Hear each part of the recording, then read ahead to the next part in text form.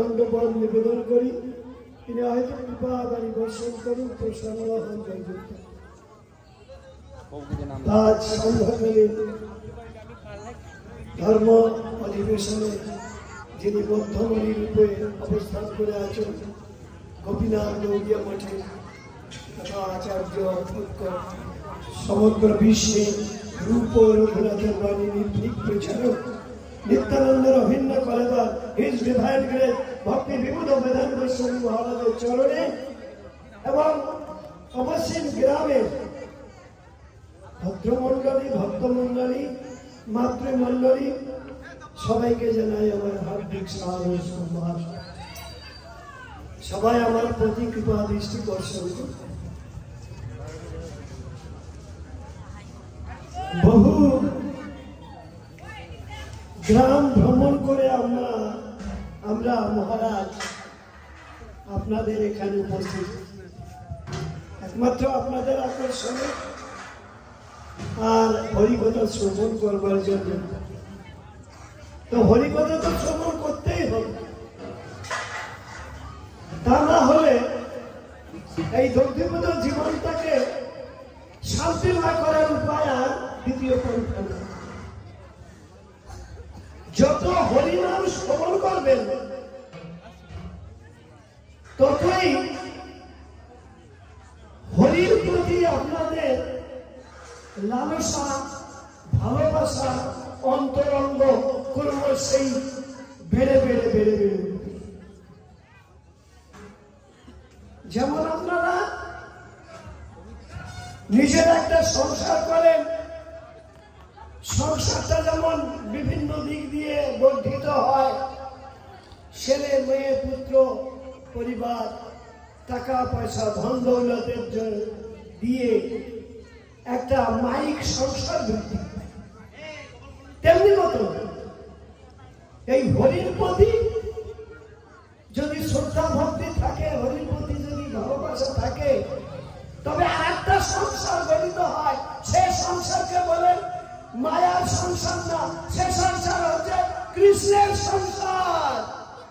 কৃষ্ণের সংসার করো ছাড়ি অনাচার অনাচার, অবিচার, কত কিছু আছে আমাদের মধ্যে, যেগুলোকে আমরা বহু জন্ম, জন্মে প্রচ্ছয় দিয়ে এসেছি। আমার ভিতরে যে ভগবানের যে একটা প্রীতি, ভালোবাসা আত্মার রূপে কেউ অবস্থান করছে সে স্বরূপটা, সে বুদ্ধিটা আমাদের সম্পূর্ণরূপে লোক লোক পেয়ে গেছে সম্পূর্ণরূপে অন্তর্হিত হয়ে গেছে। শুধু এই মায়ার একটা আবরণের জন্য তাই মায়ার আবরণ এটাকে ছাড়াতে হবে।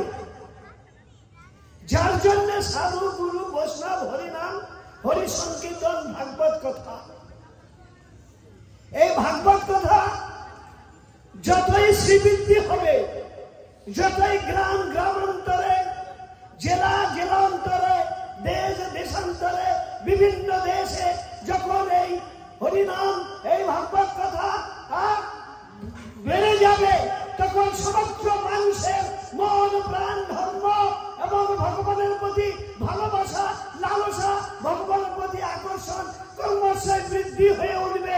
তখন জগৎটা আর অনাচারের জগৎ থাকবে না, ইতর জগৎ থাকবে না, জগৎটা হয়ে উঠবে ভগবানের জগৎ। ভালোবাসার জগৎ, প্রেমের জগৎ, আনন্দের জগৎ হয়ে উঠবে। কে না চায় যে তাপ জ্বালা খরা অবশ্য শীতকাল আলাদা থেকে আমরা শান্তির জায়গায় থাকব এসি ঘরে থাকব লুট থেকে এসি ঘরে থাকব এই সংসারটা যেটা দেখছেন এটা সব জায়গায় তাপ জ্বালা লু সেই লু থেকে যদি প্রত্যাখ্যান করতে হয় লুটাকে যদি দূরে সরাতে হয় বা সেখান থেকে যদি তাকে বিদায় দিতে হয় তাহলে কিন্তু আমাদের ওই শান্তির রাজ্যে বা এসি কারেন্ট ঘরে আমাদের যেতে হবে আমরা যাব কেন যে বুদ্ধিতে আমরা তিতাব জ্বালা দগ্ধি বুদ্ধি হচ্ছে দগ্ধীভূত হচ্ছি সেই সেই জ্বালা যদি জুড়াবা জুড়াবার বল থাকে বুদ্ধিমত্তা যদি থাকে নিশ্চয়ই কেউ তখন ওই লুয়ের ঘরে কেউ থাকবে না ওই এসির ঘরে যাওয়ার জন্য চেষ্টা করবে বট বৃক্ষের ছায়ায় যদি যেতে থাকবে সাধুগুরু বৈষ্ণবের ছায়ায় পাওয়ার জন্য সেখানে শান্তি পাওয়ার জন্য যেয়ে থাকবে তবে একটা কথা যে আমাদের সেই বুদ্ধিটা কেন অন্তর্হিত হলো? সে বুদ্ধিটা আমাদের আসলো না কেন? আমাদের যে মায়ার যে জ্বালা আর আমরা যে মায়ার আবরণে পড়ে আছি এটা একমাত্র মায়ার আক্রমণ যার জন্য আমরা কৃষ্ণ হলো রাজা। আমরা রাজপুত্র, রাজকন্যা, রাজকীয় খাবার, রাজকীয় চিন্তা, রাজকীয় ভাবনা, কৃষ্ণের ভাবনা, এই সব চিন্তা আমাদের বোধ নাই। সবাইকে যদি জিজ্ঞাসা করেন, আপনারা কেমন আছেন? সেই বুদ্ধির অভাব, দুর্লভ। তো দুর্লভের মধ্যে দেখবেন গীতায় বলেছেন মনুষ্যানাং সহস্র কচিত যত্ন সিদ্ধ। মানুষের মধ্যে কেউ একটা ভগবানের সাধনা করে, ভজনা করে। খুব কোটিকে কোটি, আমার আচার্য বলবেই বলেন, কোটিকে কোটি। একটা আবার তার মধ্যে সিদ্ধ সিদ্ধ অবস্থা সিদ্ধ পুরুষের মধ্যে কেউ কেউ কৃষ্ণের সম্পর্কে সম্পর্কিত হয়ে, আকর্ষিত হয়ে সে কৃষ্ণের সম্বন্ধে জানতে পারে, তার হৃদয় খুলে যায়, চক্ষু খুলে যায়, জ্ঞান উদ্ভাসিত হয়, সেই জ্ঞানে সে সর্বত্র কৃষ্ণের রূপ দেখে, আর অন্য প্রাকৃতিক রূপ সে দেখে না। হ্যাঁ? তখন তার মধ্যে কেহ সিদ্ধ বলের মধ্যে তাই যদি হয়, এবং যারা এরা গেছে কৃষ্ণের কাছে, যারা পেয়েছে, যারা আনন্দ নদীতে আছে, কৃষ্ণ নদীতে আছে, ভালোবাসার প্রেম বন্ধনে যারা আকৃষ্ট হয়ে ভগবানের নিকটজন হয়ে ভগবানের সেবা করছে, আমরা কিন্তু পরম্পরায় তাদেরই গোষ্ঠীর। অথচ আমাদের পূর্বপুরুষগণ, ভরদ্বাজ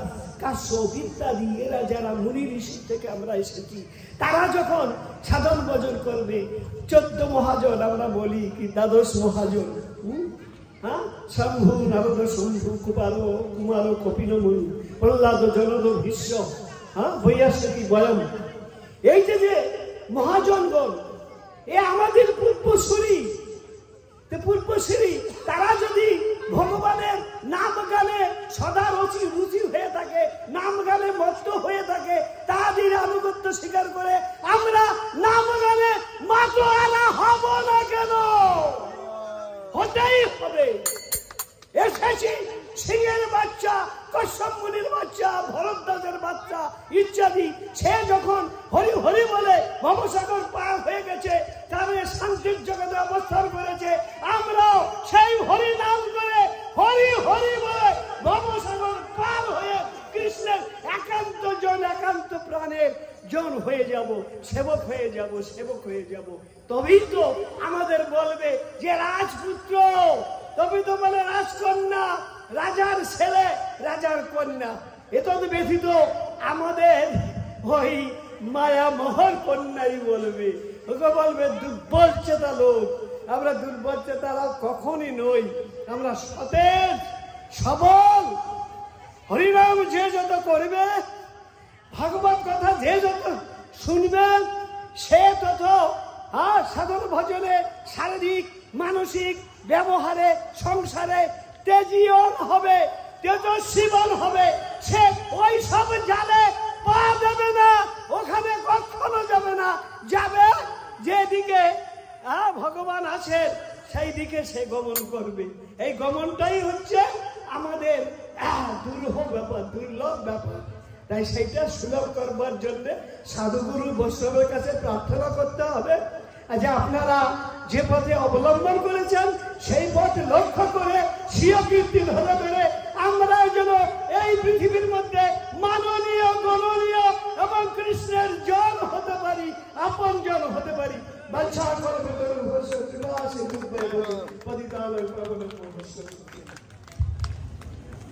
হরে কৃষ্ণ, এবার হরিকথা পরিবেশন করবেন ললিতা দেবী দাসী তার পরিচয় হচ্ছে, আপনারা দেখতে পাচ্ছেন ভাগবত আশ্রম ময়নাগর শ্রীপাদ মোহনলাল আগরওয়াল প্রভুর পত্নী। হরে কৃষ্ণ মন্দিরের মালকিন বলতে পারেন। আর তার পারমার্থিক পরিচয় নিত্যলীলা প্রবিষ্ট বিষ্ণু পাদ অষ্টাত্তর শত শ্রী শ্রীমৎ ভক্তি স্বরূপ ভাগবত গোস্বামী মহারাজের চরণ আশ্রিত তার নাম শ্রীমতী ললিতা দেবী দাস। আমি তাকে অনুরোধ করব হরিকথা পরিবেশন করার জন্য। হরে কৃষ্ণ। খুব একটা মাইক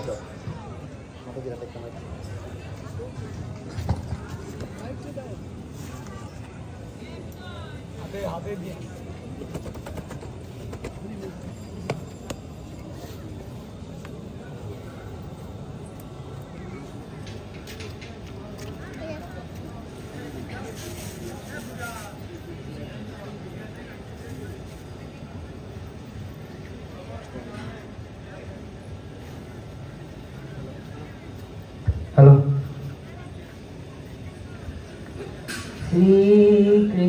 चैतन्य प्रभु नित्यानंद श्री अद्वैत गदाधर शिव सदि गौर भक्त वृंद हरे कृष्णा हरे कृष्णा कृष्णा कृष्णा, हरे हरे।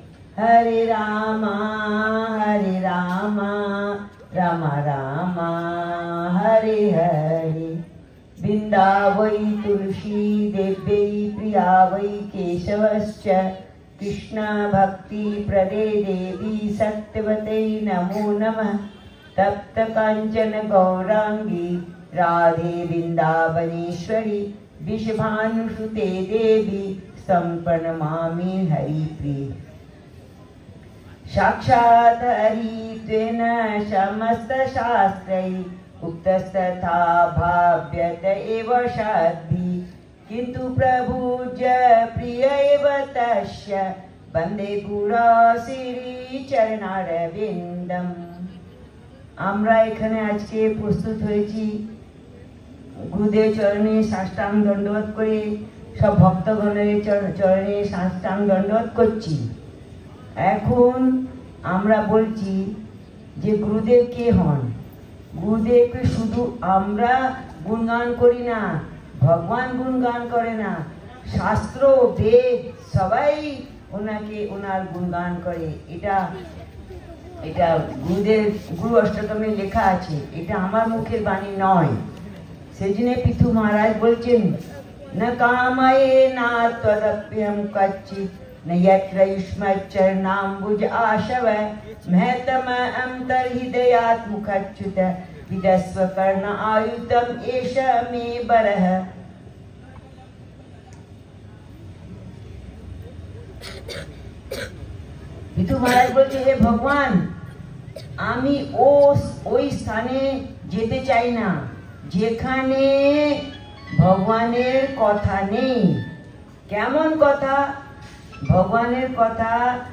ভগবানের চরণামিতে অমৃত, সেটা কার মুখে নিশ্চিত হবে? মহাজন বৈষ্ণব গুরু হলে সেটা মহাপ্রসাদ হয়ে যায়, মহাচরণামিত হয়ে যায়। সেই উনি ভগবানকে বলছেন, হে ভগবান, আমাকে একটা কর্ণ নেয়, হাজার হাজার কর্ণ দাও। ভগবানের কথা শুনে আমার কান তৃপ্ত হচ্ছে না। আমি ওই স্থানে থাকতে চাই, যেখানে শুধু বৈষ্ণব গুরু থাকেন। অন্যতা অন্য স্থানে নয়। যে লাল কাপড় পরে এসে যদি আপনার গেটে দাঁড়ায়, সে মানে আপনি এটা ভাববেন না যে উনি সাধু। বৈষ্ণব সাধু একমাত্র আপনাকে সংসার থেকে উদ্ধার করতে পারবেন। সেটা আমি আমার গুরুদেবের মুখে শুনেছি। সেই জন্য আমা- বারংবার গুরুদেবের চরণে দণ্ডবোধ করে এটাই বলছি, হে ভগবান যেন পিতু মহারাজ আহ, ভগবানকে প্রার্থনা করল আমি যত মানে ইউনিভার্সের মধ্যে যত বৈষ্ণব গুরু আছে সবাই চন্দ্রের চরণে কোটি কোটি দণ্ডবোধ করি আর ওনাকে এই প্রার্থনা করি জানি যেন ওনারা আমাকে ভগবানের চরণে পাঠাবার রাস্তা খুলে আমাকে দেখিয়ে দেন আর আমাকে ভগবানের চরণে সেবায় লাগিয়ে দেন। আমি এটাই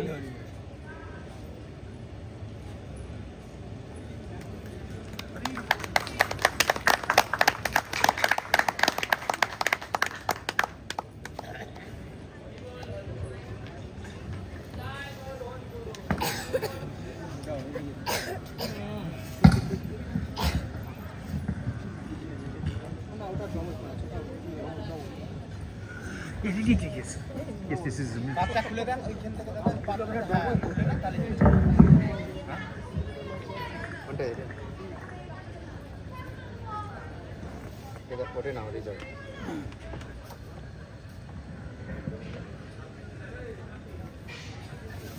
এই আসতে কেন?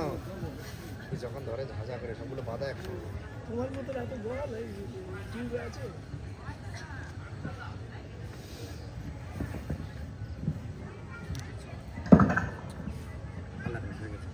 गुरवे गौरचन्द्राय राधिकाय तदालये।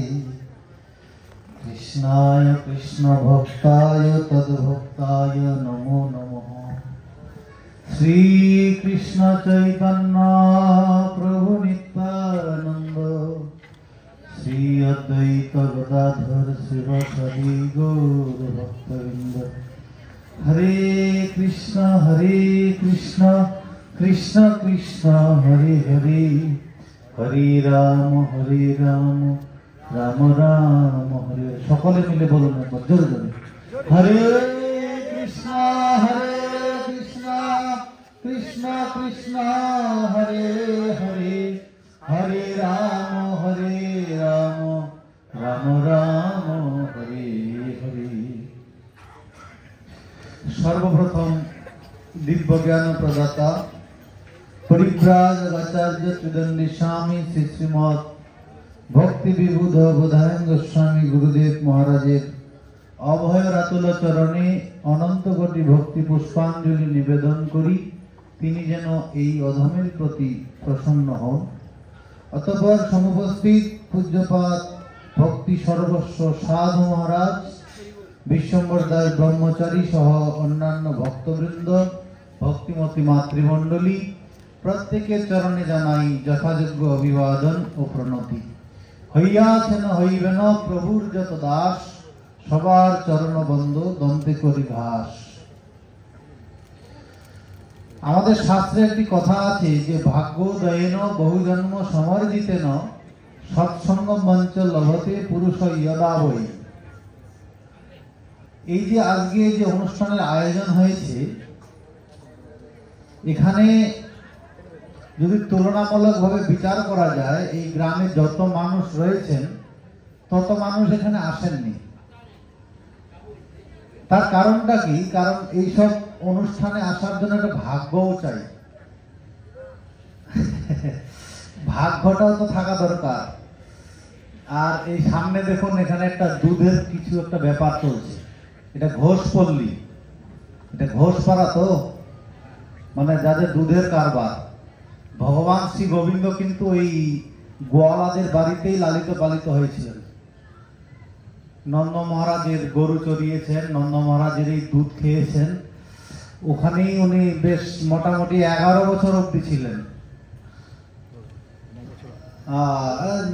দশ বছর, প্রায় দশ বছর। দশ বছর তিনি বৃন্দাবনে ছিলেন। প্রথমে গোকুলে তারপরে চলে গেলেন বৃন্দাবনে, তারপর বৃন্দাবন ছেড়ে মথুরায় গেলেন মথুরা থেকে দ্বারকায়। এসব অনেক কথা। তো যাই হোক, এই যে গোয়ালাদের সাথে একটা, গোবিন্দের একটা নিবিড় সম্পর্ক রয়েছে। কিন্তু ওই জায়গা থেকে না আমরা এখন অনেকটা সরে এসেছি। এখন কৃষ্ণের সাথে অতটা সম্পর্ক আর নেই। না গোয়ালাদের বাড়িতে গরু আছে, না গোবিন্দ আছে। কারণ গরুর জায়গাগুলো কুকুরে দখল করেছে। আপনি বড় বড় বাড়িতে যাবেন, দেখবেন গরু তো নেই, ওই কুকুর টুকুর আছে একটা দুটো। তারপরে কুকুরের আবার বিশেষ যত্ন। বাবা মার যত না যত্ন আছে, তার থেকে কুকুরের যত্ন বেশি। টাইমে খাবার দেওয়া, নিয়মিত তাকে ডাক্তারের কাছে নিয়ে যাওয়া, বিশাল তার পরিষেবা। তো যাই হোক, এই যে আমাদের যে সংস্কৃতি, আমরা যে ভগবানের থেকে সরে এসেছি, কৃষ্ণ হচ্ছেন আমাদের আরাধ্য দেব আমাদের শাস্ত্রে বললেন আরাধ্য ভগবান ব্রজেশ তনয়ম তদ্ধাম বৃন্দাবনম রম্যা কচিত উপাসনা ব্রজবধূ বর্গেন ইয়া কল্পিতা। শ্রীমদ ভাগবতম প্রমাণমলম প্রেমা পুমর্থ মহান শ্রী চৈতন্য মহাপ্রভুর মতমিদম তত্রাদর ন পর এই কলিযুগে ভগবান শ্রী গোবিন্দই শ্রী চৈতন্য মহাপ্রভু রূপে অবতীর্ণ হয়েছেন। অবতীর্ণ হয়ে তিনি একদিকে কৃষ্ণ নামের প্রচার করেছেন। হরে কৃষ্ণ হরে কৃষ্ণ কৃষ্ণ কৃষ্ণ, হরে হরে। হরে রাম হরে রাম রাম রাম, হরে হরে। আর একদিকে কি করেছেন? তিনি ব্রজেন্দ্র নন্দনের উপাসনার শিক্ষা আমাদের প্রদান করেছেন। এই মহাপ্রভুর শিক্ষাটাকে আমরা জীবিতকালে এটা জীবনে আচরণ করিয়া না করি, যখন কেউ মরে যায় তখন কিন্তু ওইটাই করি। যখন লোক মরাল মরে যায়, লোকে শ্মশানে নিয়ে যাওয়ার সময় কি বলি আমরা? বলো হরি বলো হরি বলো হরি হরি বল। কিন্তু যে মরে গিয়েছে ও তো আর বলতে পারে না। যারা বেঁচে থাকে ওরাই বলে। তো মরণকালে বলে কি হবে? শিক্ষাটা কি আছে মহাপ্রভুর যে বেঁচে থেকে ওই শিক্ষাটাকে গ্রহণ করতে হবে। কি শয়নে, কি ভজনে, কি বা জাগরণে অহর্নিশ চিন্ত কৃষ্ণ বলহ বদনে। ওই মরার পরে হরিনাম করে করলে কিছু তো লাভ আছেই, কিন্তু সেটা যদি আমরা বেঁচে থেকে করতে পারি, তাহলে পরম লাভ প্রাপ্তি হবে আমাদের। কারণ আমরা এই যে সকাল থেকে সন্ধ্যা অবধি এত ছুটাছুটি, দৌড়াদৌড়ি, মাঠে, ঘাটে, হাটে, বাজারে, এই যে আমাদের জীবনটা ছুটছে কিসের জন্য? আমরা জীবনে চাই কি? আমরা চাই প্রকৃত অর্থে আমাদের জীবনের একটাই উদ্দেশ্য, আমরা জীবনে একটু আনন্দ পেতে চাই। বাচ্চাগুলো খেলা করে, ওরাও আনন্দ চায়। বড়গুলো পরিশ্রম করে, ওদেরও আনন্দ চাই। প্রত্যেকটা জীবন আমাদের, প্রত্যেকটা ব্যক্তির আমাদের একটাই উদ্দেশ্য, আমরা একটু জীবনে আনন্দ পেতে চাই। আনন্দের জন্যই পড়াশোনা করা আনন্দের জন্য চাষবাস করা, আনন্দের জন্য ব্যবসা, বাণিজ্য, বিবাহ আদি, সন্তান উৎপাদন, সন্তান প্রতিপালন, সবই আনন্দের জন্য। কিন্তু সমস্যা হচ্ছে আনন্দ আমরা পাই না। যদি আনন্দ পেয়েই যেতাম, তাহলে তো জীবনটা এক জায়গায় থেমে যেত। যে খেলা করলেই আনন্দ, তাহলে সবসময় খেলাই করতাম। না, ওখানেও কিছুক্ষণ পরে ক্লান্তি আসে। না না, আর ভালো লাগে না। খেয়ে আনন্দ। মনে হয় দোকানে গিয়ে সব মিষ্টি খেয়ে ফেলি। আটটা, দশটা, পনেরোটা, কুড়িটা খাওয়ার পরে না না, আর আনন্দ ওখানে থেমে গেল।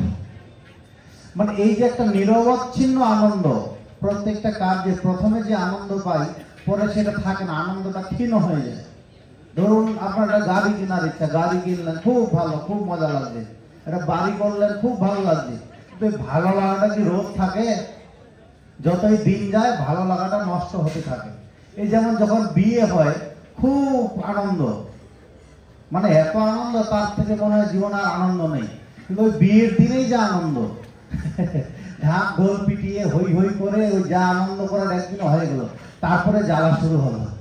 মানে জ্বলতে জ্বলতে একদম চিতায় যতদিন না জ্বলা হচ্ছে, ততদিন জ্বলনা শেষ হচ্ছে না।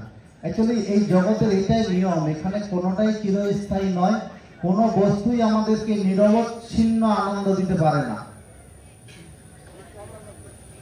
আর সেটা কেন? কারণ এই জগতে যেই কার্যের জন্য আমরা এসেছি, আমরা ওটা করছি না, করছি অন্য সব কিছু যাদের বাড়িতে ওই কৃষ্ণের অষ্টতর শতনাম আছে, তারা এটা জানেন।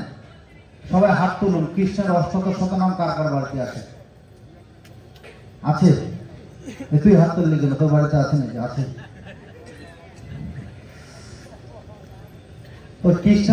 শত নামে একটা কথা লেখা আছে, সবাই কৃষ্ণ ভজিবার তরে জগতে আইনু মায়ায় হইয়া তার মানে কি বলছে ওখানে? এই জগতে আমরা কেন এসেছি? এসেছি কৃষ্ণ ভজিবার করে কৃষ্ণের ভজন করব বলে আমরা এই জগতে এসেছি। কিন্তু করি কি? হ্যাঁ অনেকেই কৃষ্ণের ভজন করার অভিনয় তো করি। কৃষ্ণকে মানে না অথচ হিন্দু ব্যক্তি। এরকম লোক খুব কম আছে। কম বেশি সকলেই। কেউ প্রকাশ্যে মানে কেউ পিছন থেকে মানে মানে। কিন্তু এরকম মানা মানলে হবে না। এটাই তো আমাদের জীবনের প্রধান কর্তব্য হওয়া উচিত ছিল। যদি আমরা ভাগবত পড়ি, ভাগবতে লেখা রয়েছে, এই যে যখন আমরা মায়ের গর্ভে থাকি, তখন আমাদের বলা হয় উত্থান পাক এই পা দুটো উপর দিকে থাকে, মাথাটা থাকে নিচের দিকে। আর মায়ের গর্ভটা খুব একটা সংকীর্ণ জায়গা। আলো নেই, বাতাস নেই। তারপরে মায়ের পেটে কৃমি কীট থাকে, ওগুলো দংশন করে। অনেক একটা যন্ত্রণাময় একটা পরিস্থিতি তৈরি হয় ওখানে। গর্ভবাস সমং দুঃখম ন ভূতং ন ভবিষ্যতি। এই জগতে আমরা কি কষ্ট পাই? তার থেকে বেশি কষ্ট মায়ের পেটে থাকা অবস্থা। কিন্তু এখন বড় হয়ে গেছে ওগুলো ভুলে গেছি, মনে নেই কিছু। সব থেকে বেশি কষ্ট হয় ওখানে। গর্ভবাস সমং দুঃখম না ভূত ভবিষ্যতি। মানে এত কষ্ট হয় ওখানে। তখন আমরা প্রত্যেকেই ওই ভাগবতের তৃতীয় স্কন্ধে লেখা আছে। সকলে মিলে আমরা তখন ভগবানকে ডাকি, ঠাকুর, এইবার এখান থেকে বের করো, আর থাকা যাচ্ছে না। খুব কষ্ট হচ্ছে। তখন ভগবান বলে, কষ্ট হচ্ছে, তাহলে কি করবে? বলে, এখান থেকে বের করে দিলে জগতে গিয়ে এইবার এত তোমার ভজন সাধন করব, নাম গুণগান করব, তোমার ধামে চলে যাব, আমার আর কোনো চিন্তা থাকবে না। বলে, ঠিক আছে, যা। তারপরে আমরা কেউ নয় মাসে, কেউ দশ মাসে, কেউ আট মাসে ভূমিষ্ঠ হয়ে যাই। ভূমিষ্ঠ হওয়ার পরে কি করি? আমরা সব করি, কিন্তু মায়ের গর্ভে যে কথাটা দিয়ে আসি, ওটা আর করা হয়ে ওঠে না। আর সেই কারণে আমাদের হয় কি, মায়ের গর্ভে কথা দিলাম ভগবানকে যে, ঠাকুর, তোমার সাথে আমার ভাব থাকবে। কিন্তু ভাবের সামনে কি লাগিয়ে দিলাম? একটা অ লাগিয়ে দিলাম। ভাবের সামনে অ লাগিয়ে দিলে কি হয়? অভাব হয়ে যায়, অভাব। মূল জায়গায় যদি অভাব লাগিয়ে দেন, তাহলে সব জায়গায় কি হবে? বীজগণিত একটা সূত্র আছে, শূন্যর সাথে যাকেই গুণ করবেন, ওটাই শূন্য হয়ে যাবে। এটা বীজগণিতের সূত্র। শূন্যর সাথে যাকেই গুণ করুন, সব শূন্য হয়ে যাবে। তো আমরা জীবনের মূল জায়গায় অ লাগিয়ে দিয়েছি। ভগবানের সাথে ভাব থাকার কথা ছিল, ওখানে অ লাগিয়ে দিয়েছি। আর ওখানে অ লাগিয়ে দিয়ে এবার এদিক ঘুরে বেড়াচ্ছি, আনন্দ পাবো, সুখ পাবো। এখন ভগবান বলছে, তুই আমার জায়গায় অ লাগিয়েছিস, দাদা, আমিও তো সব জায়গায় অ লাগিয়ে দেবো। ওই জন্য আমাদের জীবনের সব জায়গায় অভাব। টাকা পয়সার অভাব, শিক্ষা দীক্ষার অভাব, স্বামী স্ত্রীর মধ্যে সুসম্পর্কের অভাব, ভাই ভাইয়ের মধ্যে সম্পর্কের অভাব, প্রত্যেকটা জায়গায় অ লেগে গেছে, সব অভাব। কেউ এই জগতে পরিপূর্ণ নয়। কারণ কি? কারণ একটাই যে আমরা মূল জায়গায় অ লাগিয়ে দিয়েছি। এই অটাকে হাঁটানোর উপায় কি? অ হেঁটে যাবে অ কেটে যাবে। কি করে? যদি আমরা মহাপ্রভুর দেখানো পথে একবার হরে কৃষ্ণ মহামন্ত্র করতে বলুন সবাই, হরে কৃষ্ণ হরে কৃষ্ণ কৃষ্ণ কৃষ্ণ, হরে হরে হরে রাম হরে রাম রাম রাম, হরে হরে। এই হরিনাম ছাড়া এই কলিকালে আর কোনো গতি নাই। সমস্ত সুখ, আমরা জীবনে আসলে যা চাই সব এই হরিনামের মধ্যেই রয়েছে। এটা হয়তো আমরা এখন বুঝতে পারছি না, হয়তো এটা আবার কি করে হয়? যে হরে কৃষ্ণ হরে কৃষ্ণ বললে সব সমস্যা মিটে যাবে, সত্যি মিটে যাবে। এটা আমরা বুঝি না, কিন্তু বিদেশিরা বুঝেছে। এখানে একদম ছিলেন, এই যে দেখুন, উনি কি উনি কি আমাদের দেশের না আমাদের দেশের নয় বলুন? দেখে কি মনে হচ্ছে, ইন্ডিয়ান মনে হচ্ছে? না, উনি বিদেশের মানুষ, রাশিয়ায় বাড়িও না। তো উনি আবার গরিব লোক নয় যে খেতে না পেয়ে হরিনাম করছে তা নয়। আমরা এই দেশে কি মনে করি? কেউ একটু ধর্মপথে এলো, হরিনাম আদি করছে, ভাবছি মনে খেতে না পেয়ে এসব করছে। এই দেখুন, ইনি হচ্ছেন কোল্ড স্টোরের ওনাদের কত কি আছেন কোটি কোটি প্রতি ব্যক্তি। তিনি হরিনাম, উনি খেতে না পেয়ে হরিনাম করছে ভেবেছেন। আর উনি দেখুন, উনি হচ্ছেন রাশিয়ার একজন ডাক্তার, বড় ডাক্তার, এমবিবিএস ডাক্তার। এইখানে ডাক্তারের ডিমান্ড কত? ডাক্তারদের পা মাটিতে পড়ে না। আর উনি দেখুন, এই যে গুরুদেবের সামনে ঘুরে বেড়াচ্ছে, মাঝে মাঝে এখানকার ধুলা মাথায় নিচ্ছে কেন? আমরা অনেক সময় ঘরের মধ্যে মূল্যবান জিনিস আছে এটা বুঝতে পারি না। ভারতে জন্ম আমাদের, ভারত ভূমিটা যে কত পুণ্যময়, এটা ওনারা এসে আমাদের দেখাচ্ছেন। আমরা এই ঘরের লোক হয়ে বুঝতে পারছি না। এটা হচ্ছে আমাদের বড় সমস্যা। আজকে মহাপ্রভু যেই বস্তু দিয়ে গেলেন, হরিনাম সংকীর্তন, এর মধ্যে যে কত আনন্দ, কত সুখ, এটা ওনারা অনুভব করেছেন। তাই ওনাদের দেশে আমাদের থেকে সুখ, স্বাচ্ছন্দ্য, উপভোগের বস্তু বেশি থাকলেও প্রকৃত যে আনন্দ, ওটা তো আমাদের দেশে, সেই কারণে ওনারা আমাদের এখানে এসে নিতাই গৌর হরিবল বলে দুবাহু তুলে নৃত্য কীর্তন করছেন। আর আমরা দেখছি আর হাসছি বলে রে পাগলের দল। না, ও পাগল নয়, পাগল আমরা। ও ঠিকঠাক জায়গায় আছে। আর আমাদের সমস্যা কি, যখন বিদেশিরা কোনো কিছু না দেখা আঙ্গুল দিয়ে, ততক্ষণ ওই জিনিসের মূল্য আমাদের কাছে থাকে না। আজকে ওই হরিনাম সংকীর্তনের প্রচার প্রসার বাড়ছে, কারণ বিদেশিরা দেখছে, আরে বাবা এর বিদেশি লোকরা করছে। তারপর দেখি তো এবার কি আছে এর মধ্যে। এই যেমন রবীন্দ্রনাথ ওনাকে কেউ কোনোদিন সম্মান দেয়নি বা দিত না।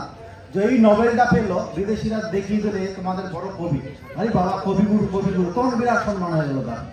যতদিন নভেল পায়নি ততদিন রবীন্দ্রনাথের দাম ছিল না।